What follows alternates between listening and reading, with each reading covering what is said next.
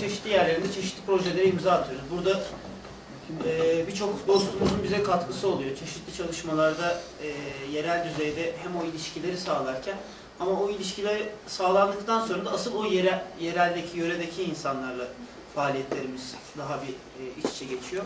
Bizim için önemli şeylerden biri bu faaliyetleri aslında Türkiye'ye taşıyabilmekti. Bugün e, belki de benim en fazla üzüldüğüm konu bunu e, istediğimiz derecede etki uyandıramamak oldu. Çünkü asıl amacımız buydu. Yani burada solumda Hakan Bey, sağımda e, İlyas Bey her ikisinin de yaptığı çalışmaları, her ikisinin öncülük ettiği bölgelerindeki çalışmalar. Çünkü bunlar hep ekip işleri.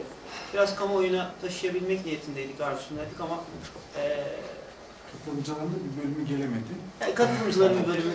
Yani onların gelmesi gerçekten çok değerliydi. Özellikle meclisten katılımcıların gelmesi, bakanların gelmesi çok önemliydi. Ama dediğim gibi e, hep başın aynı noktadayım. Yani parçanın bütünüyle uğraşmak zor ama bütünün detaylarıyla uğraşmak daha zor. E, o yüzden inşallah e, onlar da bunun mutlaka farkındadırlar ama işte programlar, büt- bütçe görüşmeleri vesaire derken durum noktaya geldi. Ben bir yıl, son bir, bir buçuk yıldır iki bölgede de çok ciddi bazı çalışmalar yapıyoruz. Bu çalışmalarla ilgili e, hem bilgi vermeleri için ilk ağızdan Edirne Genç Adamları Derneği'nden Hakan Bey ve Yozgat Sorgun İlçesi Ticaret Odası Başkanı Sayın İlyas Şenses burada kısaca bir yıl içerisinde ne yapıldığını, ardından Adnan Bey de bizim bu konuda sivil iş dünyasının kalkınma sürecine katılımı ile ilgili kısa bir bilgi verecekler. Hakan Bey ile başlayalım istiyorum. Süremizi şey etkili Evet. kullanalım ki Şey, laptop bu tarafa alalım. sunumumuz yüklü değil mi? Evet. Al.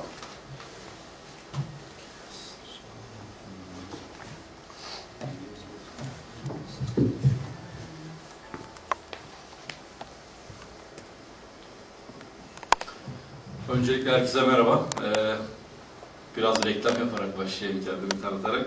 Ben Hakan İnci, e, inşaat mühendisiyim. Kamu ihale yasası ve yerel yönetimler yasası üzerine iki tane master'ım var, bitirmiş oldum. Ve ben bu yas, e, master'ları yasa çıkar çıkmaz yaptım ve e, ilk yapanlardan biriyim yasalar konusunda. Onun dışında turizmle uğraşıyorum ve Oğuz Bey'le de 3 Aralık 2004 bir akşam üzeri birlikteliğimiz başladı ve devam ediyor. Tarihlerimizde. Bunlar dedikoduya çıkar. Allah tamamını aldı. Kimseden Çektiğimiz bir konuyu. Biz bizeyi dedik de yani. Ee, aynı zamanda Edirne Belediyesi'nde e, belediye meclisiyle yürütüyorum. Şimdi biz e, buraya tabii geliş amacımız turizm. Yani bizim zaten dernek olarak e, kendimize edindiğimiz e, gelecekle ilgili düşüncelerimiz hep turizm üzerine odaklandı. Ve projelerimizi de bu yönde geliştirdik. Şimdi ben sunumma şöyle bir Edirne'yi tanıtıcı, önce Edirne'li var mı aramızda? Yok galiba. Zaten o kadar. Çok düşük bir olasılık. Malatyalı var mı? Gören ben. Malatyalıyım da. ben Malatyalıyım ama hayır ben Malatya'nın da Edirne Genç Adamlar Derneği adına geliyorum.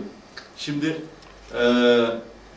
Edirne'yi biraz tanıtarak başlamak istiyorum. Ülkemizin Trakya'sında oluşan ve eee sahip olduğu gümrük kapılar. Şu anda fiil olarak Edirne'nin çalışan eee dört tane sınır kapısı var. Bunların iki tanesi Yunanistan açılan, iki tanesi Bulgaristan açılan sınır kapılar var. Ve eee, bu hat üzerinde kurulmuş olan bir ilimiz. İl özellikle İstanbul gibi ve şu anda çok yakında bulunan Çorlu gibi gelişmiş ve sanayi yönden ilerlemiş merkezler oldukça yakın bir konumda. Devlet Planlama Teşkilatı Müsteşarlığı'nın e, 2003 yılında yaptığı illerin sosyoekonomik gelişmiş sıralamasına göre 81 il içerisinde ilimiz 16. sırada ve ikinci dereceli gelişmiş iller içerisinde bulunuyor. İkinci dereceli gelişmiş iller grubuna yer alan illerin ortak özellikleri genellikle kıyı iller olmaları ve tarımsal üretimin özellikle sanayi bitkileri üretimin öne çıkmasıyla tarıma dayalı bir ekonomisinin olması. Dış turizmden elde edilen gelirler gerek bu iller gerekse ülke ekonomisi için önemli bir girdi. Zaten bizim bütün çalışmalarımızda ilimizde tarımdan ziyade turizme yöneltmek insanları. Çünkü çok e, ciddi bir e, atıl gücü var Edirne'de. Marmara bölgesi iller bazında gelişmiş endeksine göre Edirne'nin konumu 0.56234 gelişmiş endeksi. Sektörel durum önce kısaca biraz tarımdan bahsetmek istiyoruz. Edirne'nin ekonomisi ağırlıklı olarak tarıma dayalı ve e, üç çeşit ağırlıklı üretim var. Ayçiçek, buğday ve çeltik üretim var. Edirne Türkiye'nin toplam ayçiçeği, Edirne'nin Türkiye'deki toplam ayçiçeği üretimindeki payı yüzde 27. E, bununla ilgili çok ciddi bir e, birlik var, Trakya Birlik. Onun e, ve bunlara bağlı 110, e, 110 bin üye ve birçok tarım kredi kooperatifi var. Sanıyorum 48 civarında. Türkiye'nin toplam çeltik üretiminde yaklaşık %56.8'i Edirne'den karşılanıyor. Ve buğday da %3 civarında. Ee, bu verileri geçiyorum sektörel durumla ilgili olarak. Ee, Edirne turizm olarak baktığımızda gerçekten e, çok ciddi turiz, e, turistik ve tarihi eserlere sahip bir ilimiz. Son dönemlerde özellikle özel sektör ve sivil toplum kuruluşları yani bizim gibi işte Edirne Genç Adamlar Derneği kısmen bizim başlattığımız e, çalışmalar sonucunda ticaret odasının bir takım turizme yönelik çalışmalar var. E, 560'a yakın tescilli tarihi eser var ve açık hava müzesi konumunda Edirne'miz ve bu yönden de ikinci büyük e, dünyanın açık hava müzesi konumunda. Ve Edirne'de şu anda tarih, e, Beyaz Külliyesi var, Sağlık Müzesi. O da 2004 yılı e, Avrupa Müze Ödülü almış bir e, müze. İş dünyasına şöyle bir baktığımızda tekrar turizme döneceğim. Ee, yaklaşık 1752 şirket mevcut. Bunların %98'i kolektif yani aile şirketi ağırlıklı. Ee, merkeze bağlı 4 tane de ticaret borsası var. Bunun 3 tane merkez. İpsala, Keşan ve Uzunköprü'de. Uzunköprü ve e, Keşan ilçelerimiz gerçekten büyük bir büyük ilçeler. Bunların e, yaklaşık olarak 966 tane üyesi var ve iş hacimleri de 400 milyon YTL civarında 2006 yılı sonu itibariyle. Edirne'ye şöyle bir SWOT analizi yaptığımızda, Edirne'nin güçlü yanlarına baktığımızda, geniş ve verimli tarım arazileri olması, kültür turizmine uygun çok sayıda tarihi esere sahip olması, sosyoekonomik gelişmişliğin yüksek olması, Türkiye'nin Avrupa Birliği'ne açılan sınır kapısı olması, öğrenmeye açık insan kaynağı altyapısı olması ve sermaye birikimi diğer illere göre göreceli olarak yüksek olması güçlü yanları Edirne'nin. Zayıf yanları tarım arazilerinin miras nedeniyle bölünmesinden dolayı geniş çaplı çiftçilik azalıyor. Yani daha önce bir aile 150 dönüm, 200 dönüm yer ekerken şu anda bunlar 20'şer dönümlere, 30'ar dönümlere düşmüş durumda ve hiçbir e, şeyi kalmadı getirisi. Sulu tarım pek yapılamıyor. Köylerde tarımda uğraşan genç nüfus hızla kent merkezine kayıyor. Şu anda Edirne'de şöyle bir moda var. Bir kız istemeye gittiğiniz zaman köyde diyor ki Edirne'de ev alırsanız evlenirim. Ana kriter şehir merkezinde oturmak. Turizm sektöründe oluşabilecek aynı büyük patlamaya cevap verecek yeterli tesis ve yetişmiş eleman altyapısı yok. Gerçekten yok. Yani yeterli otelimiz yok. Çünkü mesela Trakya Üniversitesi orada şu anda kongre yapamıyor. Çünkü kongreye gelecek olan misafirleri ağırlayabilecek kapasite otel. Şu anda girişimler var ama hala hazırda fiili durumda böyle bir e, imkanımız yok. E, ve devlet teşviklerinin bölgeyi kapsamaması gerçekten bayağı yıpratıyor. Onun da nedeni şu, şimdi sınır kapılarından yapılan e, giriş çıkışlar Edirne'ye artı olarak yansıyor ve çok yüksek seviyelere getiriyor e, geliri. O yüzden de teşvik kapsamına giremedi Edirne. Aslında o para Edirne'ye giren para değil. Bunu anlattık Maliye Bakanı Edirne olmasına rağmen ama bir türlü algılayamıyor. Al- Algılama sorunu var. Şu an o konuda bir sorun yaşadığını sanmıyorum ama Ya, ya da aşırı algılıyor. Yan etkisine uğradık Sayın Düzey Bakanım. olarak keşke biz de aynı konumda olsaydık, biz de girmeseydik. Hiç önemli değildi yani. Yok Biz girmeyi de çok istemiyorduk yani. Keşke gelişmişlik düzeyimiz iyi bir noktada olsaydı. işte yani fırsatlarımız neler Edirne olarak baktığımızda e, Avrupa Birliği üyesi iki ülkeye sınırız. Yunanistan ve Bulgaristan. e, Bulgaristan'a ve sınır ticareti imkanı var. Ancak yine hükümetin aldığı bir kararla bu bayağı köreltildi. Şu anda aynı araçla aynı kapıdan haftada iki defa çıkamıyorsunuz.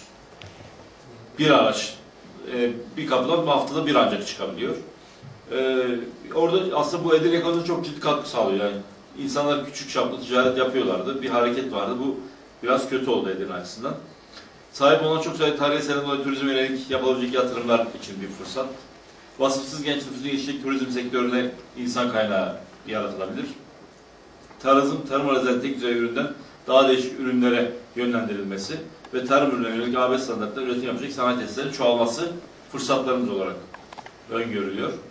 E, tehdit olarak şunları görüyoruz biz. Küresel ekonomik şoklar karşısında yerel düzeyde iş dünyasının zayıflığı, finansman açısından, yüksek iş gücü, ham madde ve enerji maliyetleri, yüksek vergi yükü ve Edirne'nin teşvik yasası dışında kalan biri ol- olması ve 5084 sayılı yasanın başka bölgelere sağladığı rekabetçi güç. Şimdi Edirne'de örnek uygulamalar var. Ee, burada gördüğünüz gibi ben 5 tane projeden bahsettim. Bunun iki tanesi bizim EGİAD'a ait. Ben eee, onlardan biraz bahsetmek istiyorum. İlk projemiz bunlar Avrupa Birliği sınır ötesi programlarında Bulgaristan'daki ortaklarımızla eee, gerçekleşmiş projeler. İlk projemiz Türk Bulgar Turizm ve Kültür Değişim ve Gelişim Merkezi projesi. Biz bu proje kapsamında Türkiye'de Kırklareli ve Edirne, Bulgaristan'da da Haskova, Burgaz ve Yambol illerini ele aldık. Onların turizm envanterini çıkarttık. Ee, bir yıllık bir projeydi. Bir merkez kuruldu. O merkez hala yaşıyor. Proje biteli yaklaşık bir buçuk yıl oldu ama biz derneğimizin ve yönetim kurulunun katkılarıyla bunu yaşatıyoruz. Ondan sonra e, bu beş ile ait envanterler İngilizce çevrilerek bir kitapçık haline getirildi. Tanıtım filmi çekildi. 5 ili kapsayan ve bunlar bütün Avrupa ülkelerine Türkiye Büyükelçilikleri vasıtasıyla dağıtıldı. Yaklaşık olarak 1000 adet dağıtım yaptık. Türkiye'de de bütün illerin ve belediyelerin turizm müdürlüklerine Türkçesi dağıtıldı. Bulgaristan'daki bütün illere de Bulgarca çevrilerek aynı kitapçıklar dağıtıldı. Ve çok ciddi bir geri dönüş yaşadık bunlardan. Bölgeyi tanıtıcı bir hareket şey olması açısından. Ondan sonra bu projenin e, devamında ve uygulamasında biz baktık ki yani bir yemek veriyoruz yeterli garsonların davranışları çok da yeterli değil. Eksikler gördük. Ne yapabiliriz dedik. Ve turizm sektörünün gelişimi için bir de yatırım yok diye biraz önce bahsetmiştim. İş adamlarına yönelik girişimci, e, gençlere yönelik de ara eleman yetiştirme kursu açtık. Yine Avrupa Birliği'nin sınır ötesi programlarıyla. Bu program sayesinde Edirne içerisinde 40 adet e, gencimizi ara eleman olarak yetiştirdik. Sertifika al- almaya kazandılar. 30 tane iş adamımıza yine gerekli eğitim verildi. Bulgaristan'da Yambol kentinde yine e, 30'a yakın kişiye girişimci eğitim verildi. Ha biz şimdi buradan ne kazandık? Ben şu anda Edirne'de alışveriş merkezine gittiğimde benden sertifika alan gençlerin orada garsonluk yaptığını görüyorum. Bu çok mutlu ediyor beni. Çünkü onların daha önce bizim kurslarımızdan önce e, herhangi bir belki kafalarına böyle bir düşünce yok yani garsonluk veya bir otelde işte bellboy olmak veya resepsiyon görevlisi olmak gibi asla öyle düşünceleri yoktu. Ama bizim teşviğimizle oldu. E, finansını yarattık, eğitimleri verdik. Bulgaristan'a götürdük, stajlarını yaptırdık ve şu anda onları biz sektörümüze kazandırdık. Ara eleman olarak. Ve çok ciddi talep oldu. Biz e, bu projeyi yaparken ilan verdiğimizde 40 veya 50 başvuru alırız diye düşünüyorduk. Yüzün üzerinde gencimiz bizim ilan süremiz içerisinde başvurdu. Daha sonra da çok ciddi talepler geldi ve e, önemli bir proje yaptığımıza inanıyorum. Edirne'nin iş dünyasının sorunlarına baktığımızda kalifiye eleman açığımız var. İşte bunu böyle bu tip projelerle kısmen kapatmaya çalışıyoruz. Teşvik olmasına kaynaklanan vergi ve sigorta yükümüz var. Döviz kurlarının istikrarsızlığı sınır ticaretini gerçekten ciddi boyutta etkiliyor.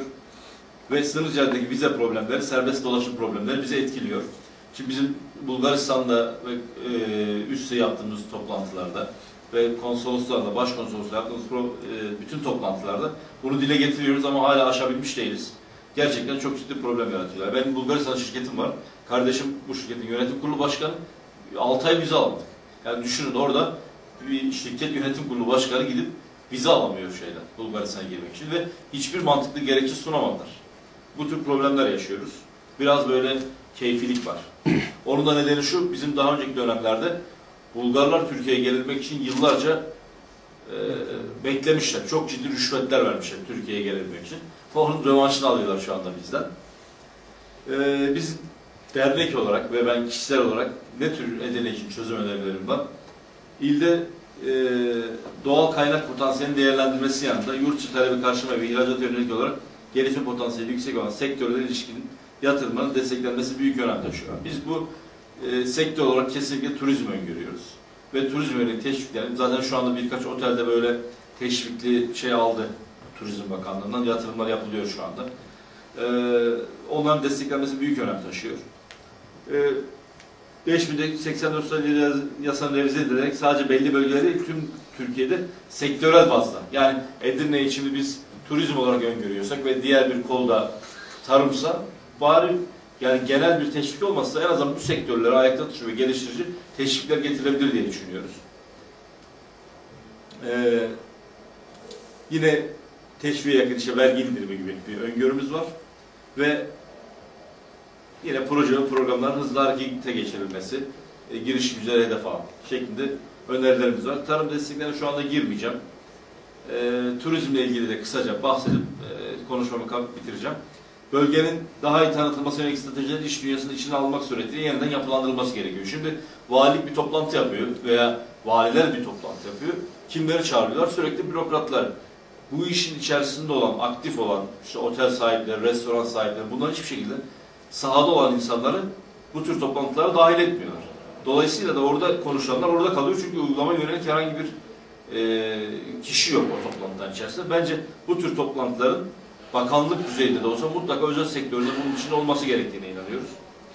Yıldızlı otel ve turistik tesisatına yönelik yatırımların vergi indirimine tabi tutulmasını istiyoruz ve iş gücü maliyetinin azaltılması yönelik teşviklerin sağlanması gerekiyor. Turistik değeri olan bölgelerin restorasyonu tamamlanması ki bu Edirne'de çok ciddi bir problem. Restorasyon problemimiz. Yani valilik uğraşıyor ama e, yeterli ödenek olmadığından dolayı e, tam da amaca ulaşmış bir çalışma değil. İlginiz için teşekkür ediyorum.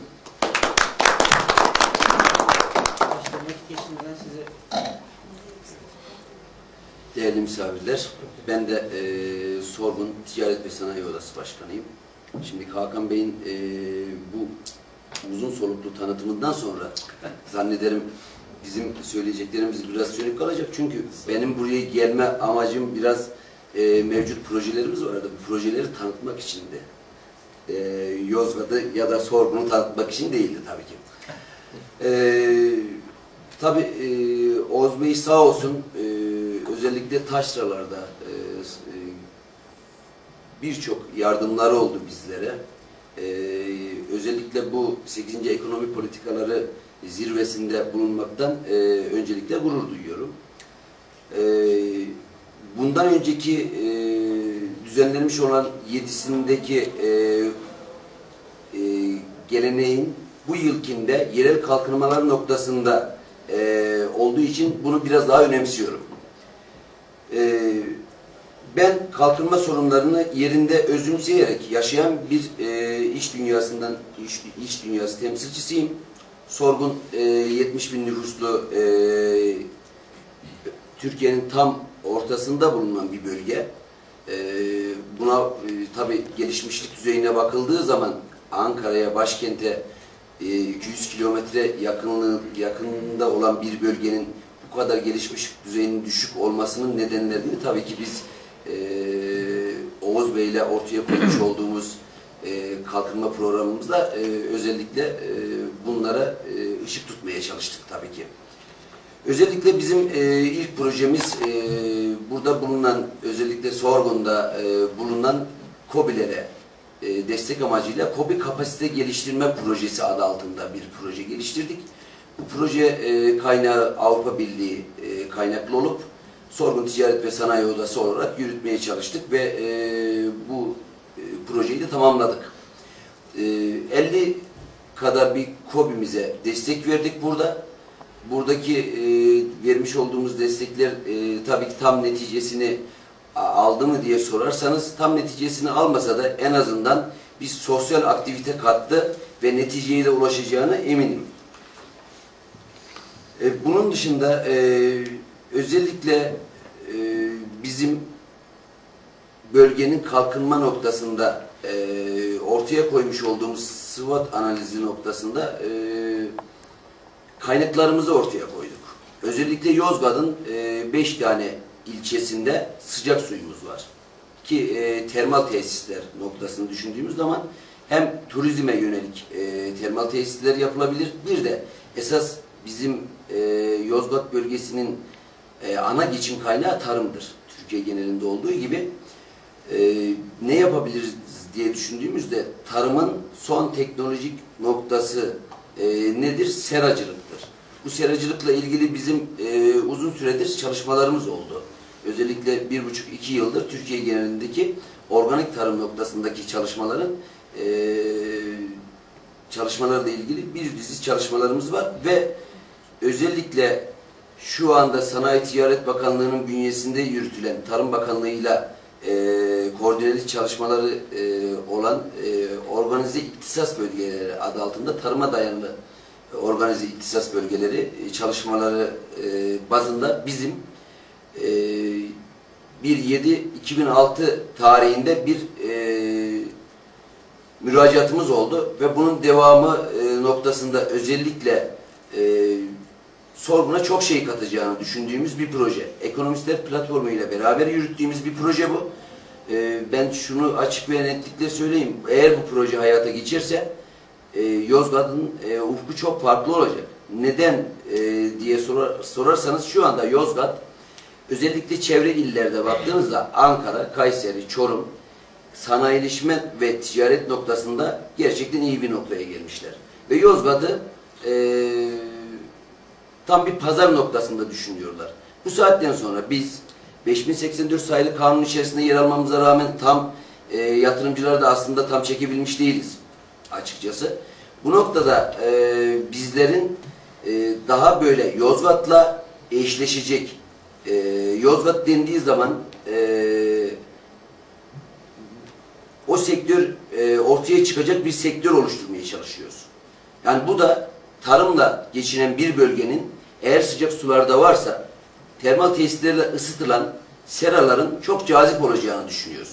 Ve e, şu anda çok rantabul bir iş ve bununla ilgili e, ekonomistler platformu ile beraber yürüttüğümüz çok önemli bir proje. E, ancak tabii bizim de yakındığımız taraflar var. E, özellikle e, bu bürokrasinin ve bürokrat kafanın vermiş olduğu bizlere zorluklar var. Çok e, zorluklar yaşıyoruz. Yani özellikle biz e, projeyi verdik. Projenin aşaması noktasında e, Allah'tan bu dönem e, Zafer Bey şu anda e, Sanayi Ticaret Bakanı onunla iletişimlerimizi geliştirerek bu dönem çıkarmayı hedefliyoruz. Eğer bunu e, bu projeyi hayata geçirirsek e, Yozgat'ın ufku çok farklı bir noktaya geleceğine inanıyorum. E, tabii bu çalışmalarımız nezdinde Ekonomistler Platformu e, Başkanı olarak Oğuz Bey'e çok teşekkürlerimi e, arz ediyorum huzurlarınızda. E, söyleyeceklerim bu kadar. Teşekkür ederim. Bir iki katkı Tabii. yapabilirim belki. Ee, şimdi biz ilk gittiğimizde Yozgat'a, Yozgat'ta devlet planlamanın bir eğitimi için gitmiştim. Ben eğitimci olarak gitmiştim orada. Ee, Sorgun'a bizi Sayın Başkan davet etti. Sorgun'a gittik. Sorgun'da e, sohbet ederken e, biz hep uzun zamandır hani bölgesel düzeyde yapılabilecek şeyleri anlatıyoruz. Alternatif modeller, neler yapılabilir, o bölgenin özellikleri, güçlü yanları ne, bu yanlar nasıl fırsata dönüştürülebilir, bunlar üzerine kafa patlatıyoruz. Başkanımızla konuşurken bize çok ilginç bir şey anlattı. Ben de çok duyduğum bir şey de değildi işin aslını soruyorsanız. Bölgedeki sıcak suyun eee, işte önce toplu konuta girmesi. Çünkü su- suyun Evet. sıcaklığı uygun. Ve toplu konutta ucuz ısıtmanın sağlandıktan sonra o suyun toplu konutlardan çıkıp eee, organize ihtisas bölge ya da organize Tarıma edilmiş ya da bir araya getirilmiş seralara verilmesi. Ardından da eee, bu işten asıl hani para kazanan turizm, turizmcilere suyun verilmesi. Suyun sıcaklığı 10'ar 15'er derece kayıplarla en son aşamaya kadar gidiyor. Ondan sonra deşarj ediyor. Yani düşününce çok mantıklı geldi ve hani biz de elimizden geldiğince sürecin içerisine katkı sağlamaya çalıştık. Ee, bugün belki burada olsalardı yine e, en çok bunları dile getirmek için aslında burada bu- bunu yapmaya çalıştık.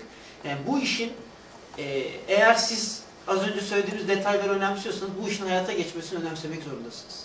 Ve bu işin hayata geçmesi için katkı sağlamak zorundasınız. Kimse sizden para beklemiyor. Yani biz bunu da söyledik. Bunun finansmanı işte 4-5 milyon euro, 7 milyon euro gibi bir şey çıkıyor. Biz arayalım, biz bulalım. Çünkü bu kendi kendini finanse eden bir model. Yani bunun için biz koşturalım, gidelim dışarı gidelim, içeri gidelim. Bir sürü dışarıda bulunun vatandaşı var, bu yatırımı yapacak. Bu altyapı yatırımına da katkı sağlayarak bu yatırım yapacak insanlar var. Ama tabii bunun olabilmesi için bölgede bu işin organize bir arazi tahsisi gerekiyor. Vesaire vesaire. Son bir şey ekleyeceğim başkanım, sonra Adnan Bey'e vereceğim sözü. Bizim Anadolu'da en çok yaşadığımız şey, sizler benden çok daha tecrübesiniz, mutlaka sizler de aynı şeyleri görüyorsunuz. Anadolu'da kurumları bir araya getirmek yani X şehrinde, X ilçesinde odayla kaymakamlığı, odayla belediyeyi, belediyeyle kaymakamlığı bir araya getirmek affedersiniz deveye hendek atlatmaktan daha zor. Hani böyle bir lafımız var ya. Harbiden zor yani. O yüzden biz e, bu sıkıntıları ama yani aşacağız hep birlikte. Burada sizlerin işte bilgisiyle, varlığıyla devam edeceğiz. Hemen bir şey sorabilir miyim şimdi? Ee, e, böyle bir projeniz var ama bunun realize olma yüzdesine yani başladı mı? Devam Ben mı ediyor? Şu an. Ee, Bir şu anda bakanlığa biz bunu müracaat ettik. Müracaatımızı yaptık. Ee, Bakan Bey'le de görüştüm. Orada bir ışık deliği aldık. Avrupa Bunun- Birliği projesi. Hayır değil. 5 milyon. Avrupa, şunu da açık söyleyeyim. Açık yüreklilikle şunu da söyleyeyim. Avrupa Birliği projesi de verecektik biz. Ha, Hazırlığı, hazırlık aşamasında bitirdik. Sadece biraz önce Oğuz Bey'in ifade etmiş olduğu kurumların bir araya gelme noktasındaki problemden dolayı biz bu projeyi veremedik. Proje de çıkmama ihtimali çok zayıf olan bir projeydi. Çünkü ekonomik altyapı projesi olacaktı bu. Yani Sonra bir de yatırımların e, yatırım e, şeyi düşecektir. Orada yatırım e, Maliyeti. maliyeti düşeceği için e, müthiş derecede de yatırımcı çekecektik biz oraya. yani. Çok rentable Hala öyle ama altyapısının yapılması gerekiyor. Altyapının yapılması için Yani daha önceden başlamış falan bir şey yok değil mi? Hayır şöyle söyleyeyim. Şu anda e, bakanlığa müracaatımız devam ediyor ama bu aşamada tabii bu e, proje aşamasında orada devam ediyor. Ancak biz de e, Sorgun'da e, organize olan bir 8-10 arkadaşla beraber şu anda örnek sera yapma noktasında ki şimdi bizim orası kara iklim olduğu için orada sera olur olmaz mı noktasında tereddüt eden insanlarımız var. Zaten bizim yatırımcılarımız bizzat eliyle e, yoklamadıkça, gözüyle görmedikçe bu işi yapma gibi bir tarafı olmaz. Ş- şöyle de açık ve e, yüreklilikle söyleyeyim. Biz oradaki arkadaşlarla beraber örnek serayı yapacağız oraya. Bu işin sorgunda olacağını göstereceğiz ve sorgunla eşleşen bir sektörü hayata geçireceğiz. ticari açıdan da büyük Çizimleri falan hani Elimizde aslında var olan ya. var şu Şey- anda. şeyden geliyor, ilk geliyor işte e, konutlara giriyor, ısıtıyor, oradan Hı. çıkıyor. Evet. işte seraya, oradan da turist tesisine Zaten şu anda gidiyor. 82 Yani derece çizimler sıcaklığında bir suyumuz var. Ki seraların ısıtılması için 50-60 derece sıcaklığında bir su getiriyoruz. Şöyle bir özelliği var. Bunun Suyun örnekleri su var yani. bitmiyor. Şeyde, Urfa'da falan yaptılar. Tarsus'ta var galiba bildiğim kadarıyla. Yok, Tarsus'taki Şu daha anda farklı. şöyle İkili de söyleyeyim, var. tarıma dayalı organize ihtisas bölgesi adı altında daha şu anda kurulmuş bir tane örneği yok. Mersin'in böyle bir çalışması var. Orada gittim, briefing aldım. Orada da görüştük. Tabii onların çok daha büyük bir proje ama Ha, Adem- neticede efendim Adem Bey'in arkadaşı. evet e, çok güzel bir proje. E, kısmet olursa e, biz de güzel bir projeyi hayata geçirmek için İnşallah elimizden bakanlık geleni destek yapacağız. verir de inşallah. Bu dönemde yapamazsak hiçbir dönemde yapamayacağımıza eminim. Onu da söyleyeyim. Öyle demeyelim başkanım. Çıkmadık canlını bitmesin. Adnan Bey bize e, biraz kendi tecrübesi, kısaca ben kendisini tanıtayım büyük bir zevkle. Adnan Bey'le biz 7 sene evvel Ekonomistler Platformu'nun Anadolu örgütlenme çalışmaları kapsamında ta- tanıştık.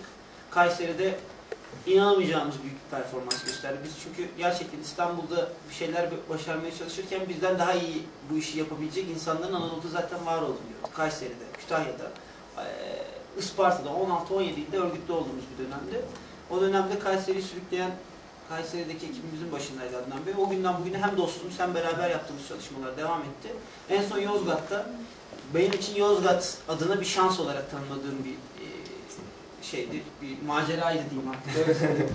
E, Bir şeyler vermiştir. Evet, mutlaka. Macerada değil. Ha, yani macera derken Yozgat adına bir maceraydı diye.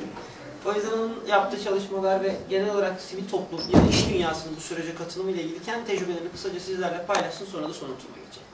Efendim öncelikle teşekkür ediyorum. Ee, gerek Oğuz Bey'in böyle güzel bir rüzgarla e, bizi sunması, gerekse Atıl Üniversitesi'nin e, bizleri burada konuk ederek e, onurlandırması, başta İsmail Bircan hocam olmak üzere tüm e, üniversite heyetine burada Ekonomistler Platformu'nun bir temsilcisi olarak teşekkürü bir borç biliyorum.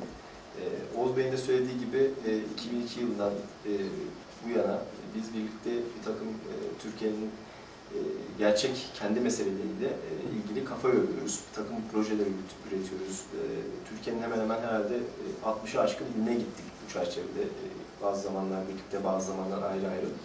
Ve gittiğimiz her bölgede de farklı deneyimler elde ettik.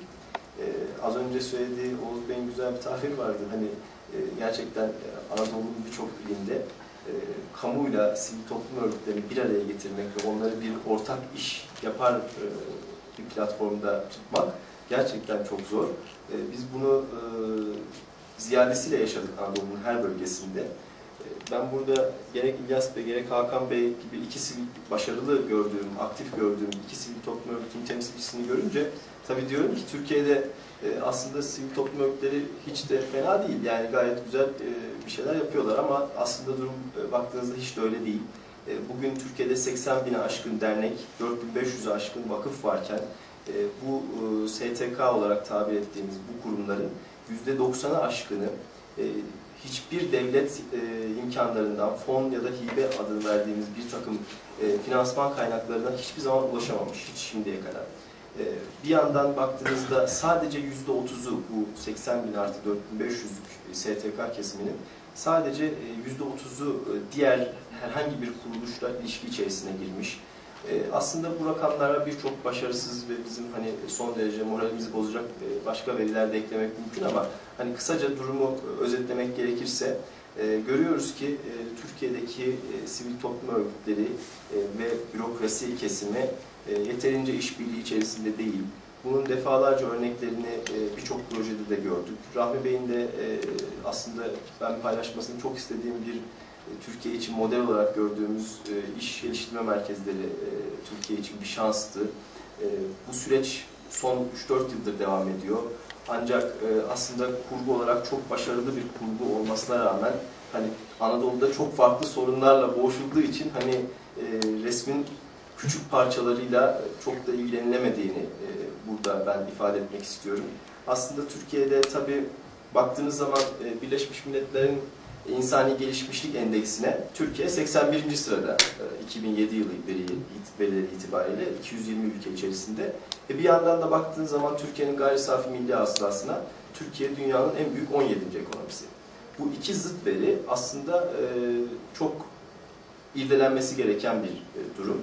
E, Bugün Ağrı ile Kocaeli arasındaki e, kişi başına düşen milli gelir farkı 11 kat. Bu 11 kat aslında bizim Türkiye'de ne kadar istikrarsız ve dengesiz bir kalkınma e, modeli yürüttüğümüzün de bir başka göstergesi.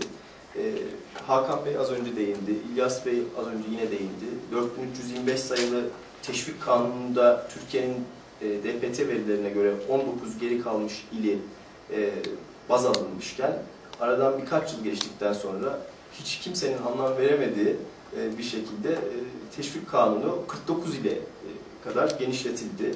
Ve ben Yozgat'la ilgili bu konuda mesela bir somut örnek vermek istiyorum. 19 geri kalmış il olarak tanımlanmışken 4325 sayılı kanunla Yozgat'a yapılan e, bir, bir buçuk yıllık süre zarfında yapılan yatırım sayısı, yatırım, gelen yatırımcı sayısı 55 iken ki bunlara arsa tahsisi ve yatırım süreci başlatılmış haliyle söylüyorum.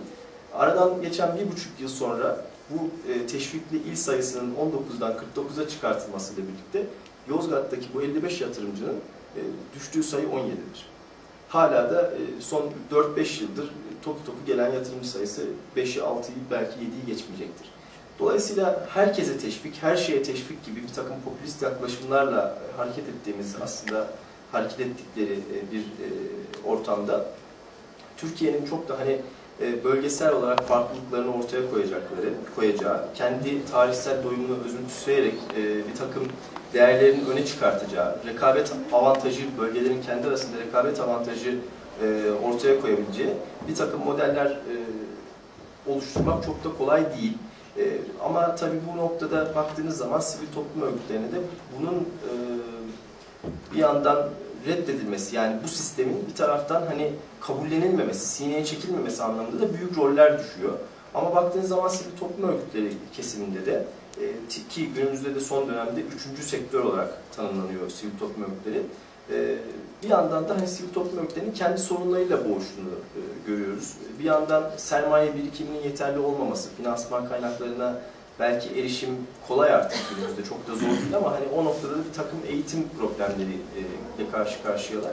E, bir yandan da hani e, çok da böyle e, birbirleriyle ilişki anlamında da çok aktif olamadıklarını görüyoruz. Dolayısıyla sivil toplum örgütlerine baktığınızda kendi içlerinde bir dalgalanma ve bir hesaplaşma içerisinde, koşturmaca içerisinde bulunuyorlar. İllere baktığınız zaman mesela bürokrasi kesiminde e, her yıl valilikler bünyesinde il istihdam kurulları oluşturulur. Bu il istihdam kurullarında ilin e, daha fazla istihdam e, gerçekleştirebilmesi için yani yıldan yıla bir takım politikalar belirlenir. Ama ben e, birçok ilde, farklı farklı birçok ilde bu il istihdam kurulu toplantılarına hani misafir olarak e, zaman zaman katılma şansı bulduğumda e, katılan tek sivil toplum temsilcisinin kendim olduğunu görüyorum. Ve hiçbir zaman da e, aslında katıl, e, toplantıların gündeminin hiç de birbirinden farklı olmadığını görüyorum. E, bir sonraki yıl aynı ilde veya bir başka ilde e, aynı toplantılara katıldığında gündemin yine hep aynı olduğunu e, ve çözüm önerilerinin de hiç değişmediğini çünkü hiçbir zaman da hayata geçirilemediğini görüyorum. Tabii bir yandan hani bu çok gülünecek bir durum ama bir taraftan da çok üzülünecek bir e, olay. E, o anlamda hani İstihdam Kurulu sadece küçük bir örneği bunun. Yani bunu kamunun birçok kesimine yaymak mümkün tabii ama e, işte bir taraftan 2004'ten bu yana Dernekler Kanunu'nun değişmesiyle sivil toplum örgütlerine bakış açısının da geliştiğini, biraz daha e, bir kıpırdanmanın e, oluştuğunu görüyoruz. Avrupa Birliği'nin tabii sürecinin de çok etkisi var bunda ama e, henüz yeterli olduğunu da e, kabullenmek biraz e, güç. E, çünkü Türkiye'de e, Osmanlı dönem- döneminden bu yana baktığınız zaman bürokraside çok kökleş, kökleşmiş ve e, artık gelenek haline gelmiş bir takım e, kurallar ve kanunlar var. Bunları yıkmak çok da Türkiye açısından kolay bir durum değil. Çünkü e, bu duvarlar e, binlerce yıldır bu topraklarda e, oluşturulmuş ve bunu bir kısacık Avrupa Birliği süreciyle hani 3 yılda 5 yılda yıkıp yeni bir e, şey oluşturmak, mantalite oluşturmak kolay olmuyor. Dolayısıyla bürokrasinin o kendi geleneklerini kırmanın da yükü sivil toplum örgütlerinin üzerine düşüyor. E, Böyle bir kısır döngünün içerisindeyiz. Bu anlamda ekonomistler platformu olarak belki genç yaşta, biz e, hepimiz çünkü genciz bu örgüt içerisinde, e, gençten tabii tanımlamak da biraz gençlik kavramını e, zor ama yani e, 30 yaşın altında diyeyim daha kısa bir tabirle. Biz belki çok genç yaşlarda bu konuda sorumluluk aldık, inisiyatif aldık. Türkiye'nin meselelerine kafa yormaya başladık.